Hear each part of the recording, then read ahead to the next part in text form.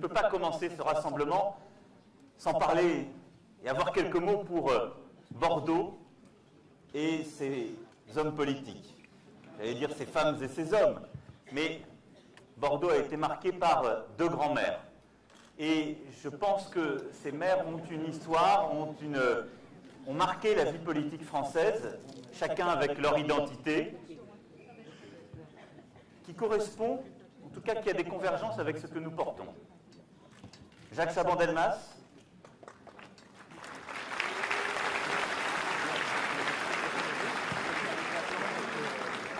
a supporté pendant des années une volonté de renouveau. La nouvelle société, la capacité à penser euh, la transformation sociale, le changement. Il a porté, avec Jacques Delors, qui était à l'époque dans son équipe, cette volonté de transformer le pays, cette nouvelle société. Et il a marqué cette ville et l'histoire politique de notre pays. Il l'a marqué parce qu'il a supporté alors des convergences et une volonté euh, de renouveau, une volonté de rassembler toutes celles et ceux qui étaient prêts à travailler ensemble. Et puis, le maire qui lui a succédé, c'est évidemment Alain Juppé.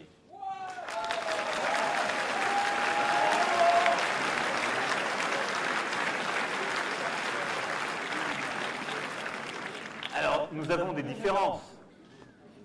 Il m'a parfois fait des reproches. Il est allé jusqu'à me reprocher mon âge. Bon. Je pense que, d'abord, ce n'est pas une maladie incurable. Ensuite, il y a des moments dans la vie d'un pays où ça peut même être un atout. Et pour ma part, je n'en ai jamais fait un étendard. Mais donc, au-delà de ce petit coup de griffe qui importe peu face à la lourdeur d'autres coups portés, je voulais ici saluer